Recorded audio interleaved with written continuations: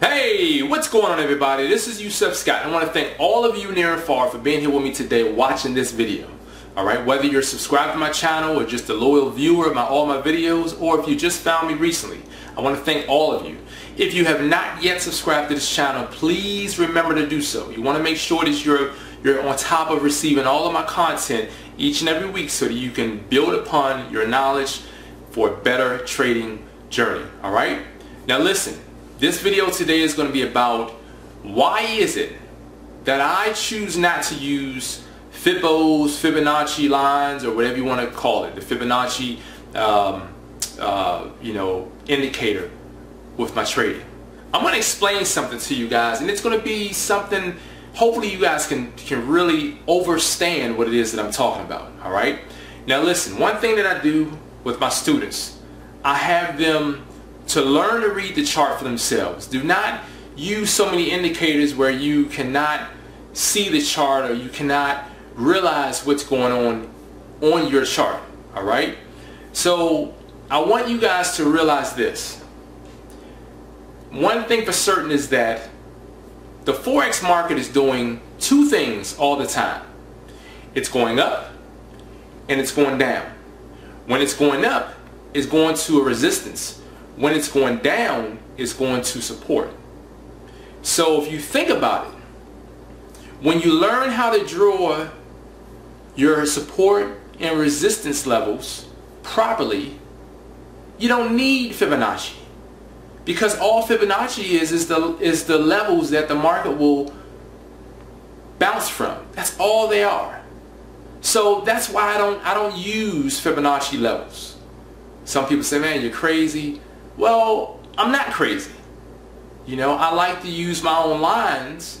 I plot on my own lines. And something that's a little deeper than just plotting on your lines is that because I choose to use my own lines, you know, my own support and resistance lines, what happens, I learn to depend on my own knowledge, all right, and my own realization of the market.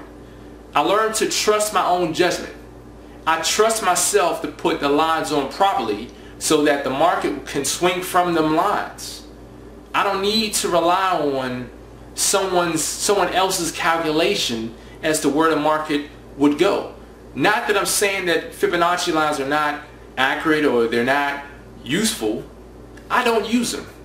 To each his own. It's cool. If you want to use them, that's cool. But I choose not to use Fibonacci lines. I don't. I could draw my own lines.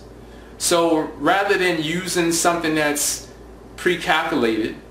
I use my own. And I watch how, even if, and I've done this demonstration in front of my students where I plotted on my own lines and I took the Fibonacci tool and I went from the top to the bottom and the lines were almost smack on. They were perfect. All right? A few of them were off a little bit, but hey, it's in the vicinity. It's okay. So I want, I want you all to know that me drawing on my own lines, it does something to the mental you start to trust in yourself and believe in yourself. Once you start to believe in yourself, you, you, you start to, you know, rely on your own belief and your own, your, your, your own judgment. You don't, you know, because if for some reason, if, if that Fibonacci tool get wiped out, if MT4, if they take it away, then what happens to you? All right, so learn to start or let's say start to learn to rely on your own knowledge. That's why I'm so big on training students and, and teaching people. Because I want you to learn to take charge of your own destiny. Do not rely on some some you know third party tool, you know? Now I know that Fibonacci, you know, it's fine. You want to use it, it's fine. But learn to draw your own lines yourself what happens? You start to trust in yourself, believe in yourself. And that's what this is really about. A lot of students, they fail at Forex because they really don't believe in themselves. They see the market, they say, you know what, it looks like this market is going up. But then once they get in, they're in profit a little bit, then the market start pulling back, they jump out, take a small profit. All right? Take a small amount of pips. When they turn around three, four days later, it then went up 400 pips only if they trusted in their initial uh, uh, sight of where the market is and where it was likely to go. That's why I draw my own lines on because I want to believe in myself. All right? So I just want to let you guys know it's a lot deeper than just, hey, should I use this or should I use that? I trust my own lines. Once you start to trade and you trade and you trade, you start to believe in yourself. You know, you, you start relying less on or you start relying on less of other tools. Rely on yourself. Believe in yourself. It'll build yourself up. You, you can stand up straight and hold your head up high and say, I know how to do this. All right? Seeing is believing. See yourself platinum on yourself and believe in, believe in your level. Those are your levels. Not some pre-calculated man-made levels. You make the levels yourself. You believe in your levels. Those are your levels. So own it. So once you own what you believe in, who can stop you?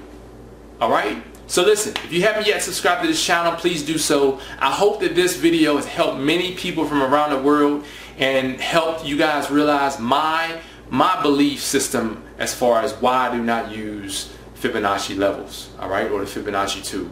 You guys have a fantastic day. If you haven't yet subscribed, please do so. Peace.